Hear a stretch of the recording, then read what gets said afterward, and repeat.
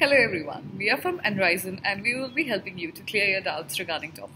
So basically, what is TOEFL? TOEFL is basically test of English language as a foreign language. In this video, we will be discussing when you can give TOEFL, registration fees, registration dates, syllabus, pattern, how to improve your each section. So first we will be starting with why TOEFL. So if you're targeting North American universities like Canada and in US, then you should go for TOEFL because TOEFL is preferred more there. But if you're targeting countries like UK and Australia, then you should go for IELTS. Anyways, TOEFL is accepted there, but they prefer IELTS more. So now we'll be talking about the test dates. Well, TOEFL is conducted around the year like 50 times. You can reschedule it as many times as you want, but uh, you need to give a 12 days gap between your first test and your second test.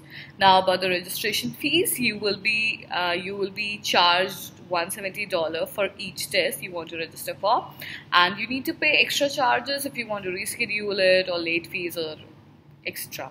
Now we'll be talking about the pattern of the test. Basically there are four sections, reading, listening, speaking, writing for reading, you will be given 60 to 80 minutes, 36 to 56 questions each. For listening, you will be given 60 to 90 minutes, 34 to 51 questions each. For writing, you will be given 50 minutes, two tasks each. For uh, speaking, you will be given 20 minutes and six, six tasks each. So basically in reading you will be given 3 to 4 passages of 700 words. You need to understand what is in that particular passage and you need to, need to answer the questions accordingly. For listening you will be given basically 2 conversation and 4 lectures. You need to listen to them, you need to understand them and you need to answer the questions accordingly. For speaking, you will be given a familiar topic on which you have to speak for about a minute or two. You will be judged on the basis of your pronunciation and your clarity of speech. And in writing, you will be given basically two tasks in which you have to write uh, accordingly. So there will be one question in your mind. What is a good score for getting into a very good college?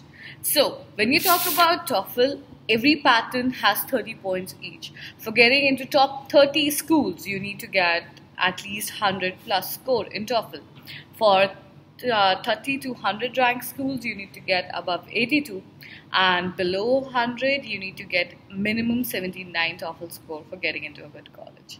So all the best, guys. I wish I answered all your questions, and thank you.